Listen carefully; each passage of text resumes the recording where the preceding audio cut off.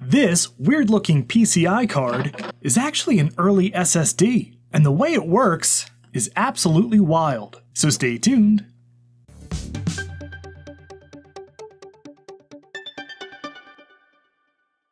And if you enjoy exploring bizarre bits of e-waste, I hope you'll consider subscribing to the channel. This is the fabled Gigabyte GC RAM disk, aka the iRAM from early 2006. It's a PCI card that takes four sticks of desktop memory and turns them into a super fast SSD. Now you might be thinking, hey, isn't RAM volatile? Why yes, which is why this card takes the absolutely wild step of using a rechargeable battery right on the board to keep power flowing to that RAM so your precious data can persist. Until the battery dies, at least.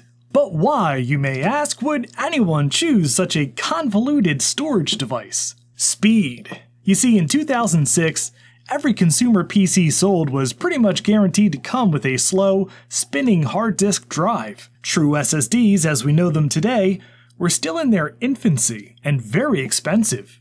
A 32GB SSD would cost $1,000, which is over $1,600 in today's money. Stupid inflation. This goofy iRAM card only cost 140 bucks, plus the cost of the four RAM sticks. Was this a good idea? Well, Newegg still has historical reviews on this bad boy on its long defunct product page. The top positive review loved using it as a super fast scratch disk in Windows XP. They even put a virtual memory file on this thing. Smart. The top critical review, well, apparently their battery was defective, and they only found out after taking their PC to a LAN party with critical Windows files completely lost. Ouch. Anyway, today we're going to draw our own conclusions by sticking this thing into a period accurate Pentium 4 build, installing Windows XP on it, and seeing just how fast and reliable this thing really is. Right after this quick word about today's sponsor, PCBWay.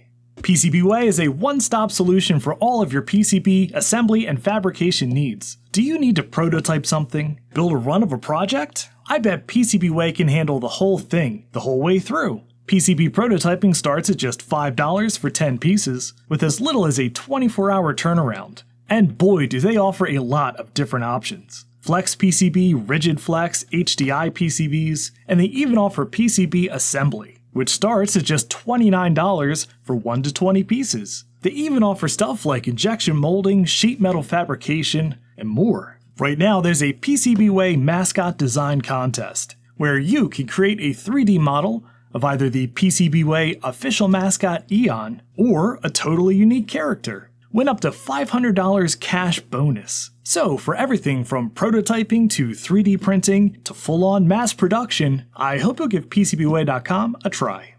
Now, let's take a bit of a closer look at this card because it's pretty simple but pretty weird.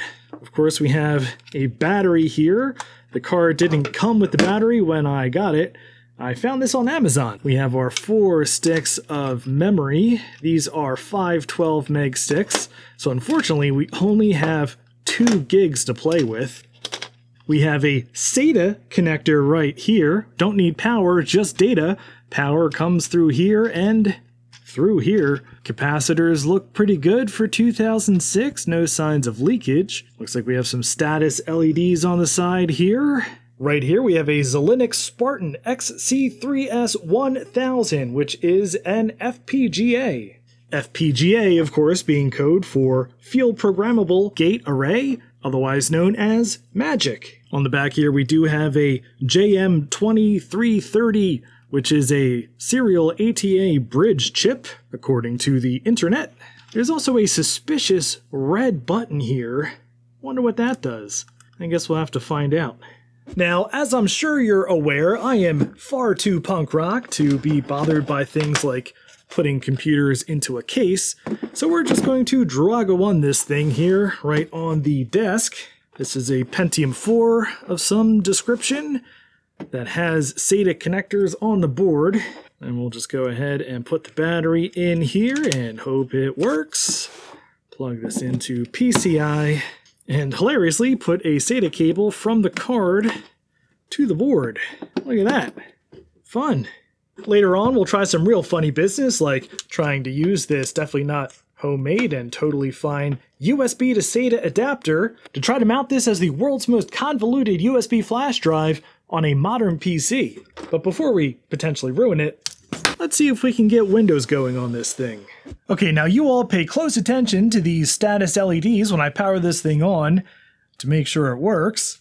And I'm just gonna have to jump the power connectors on the board to start this. All right, let's see here. Boot device priority. Oh, that's it. Look, it's the Gigabyte iRAM. It sees it as a boot device. This thing lives. And looking at these LEDs, I think it's even charging the battery. All right, I guess we better try to install something to it. We'll use my totally legitimate version of Windows XP Home. All right, let's do a standard Windows XP install. There it is, unpartitioned space, two gigabytes. That's our four sticks of RAM. Pretty weird. Let's see how fast this formats. Oh my god! That was incredible! Hopefully jump cut to Windows XP. Alright, and we are installed! Look at that! Booting into Windows XP Home installed on four sticks of RAM. so far, pretty normal. Uh, my computer, and I've put in a USB stick with crystal disk mark so we can take some benchmarks. Kernel 32. Oh, we need a newer version of Windows XP to run that. Son of a gun. Before we install that, let's see just how persistent this data is. We will shut down the computer. The light is still on on the RAM disk. I have now unplugged the computer, and there is still a light on on the RAM disk. Plug the computer back in.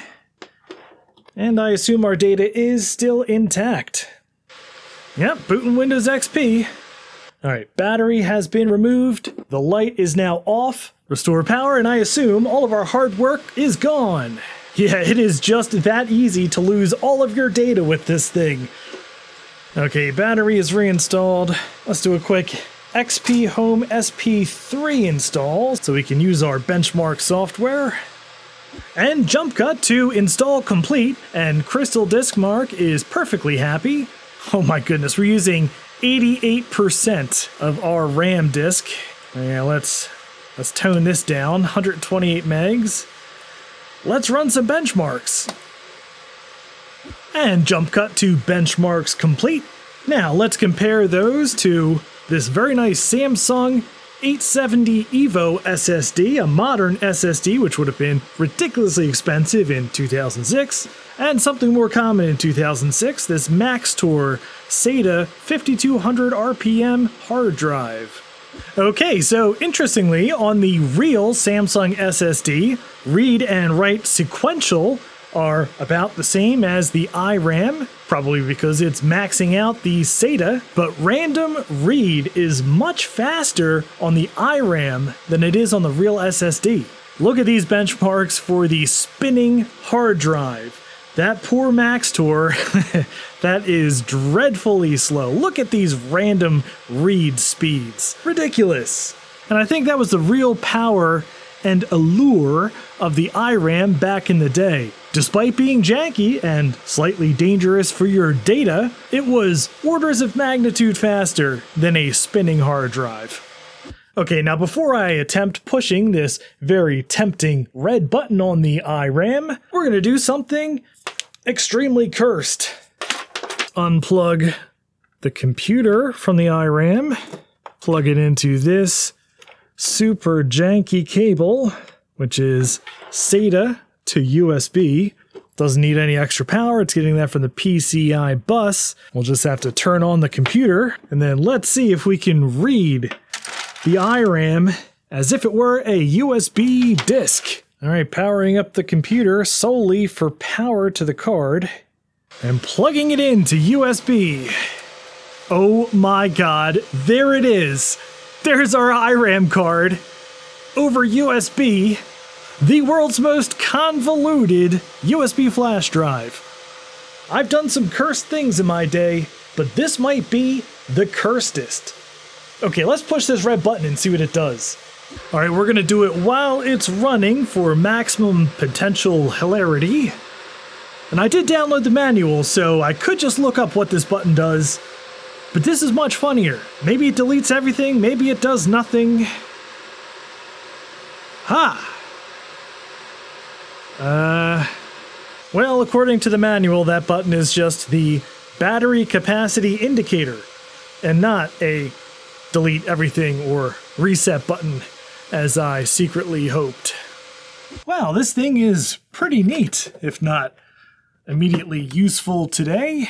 Yeah, the battery indicator does work. Although, I don't know. What would you use this thing for in 2025? Let me know in the comments below. Maybe something like Linux swap space for a super memory constrained old system. In any event, thank you very much for watching. And I just want to give a very special thank you to all of my Patreon supporters and channel members. Thank you so much, each and every one of you, for supporting me and supporting this channel and all the weird stuff I do. I am so very grateful, and I just could not do this without you.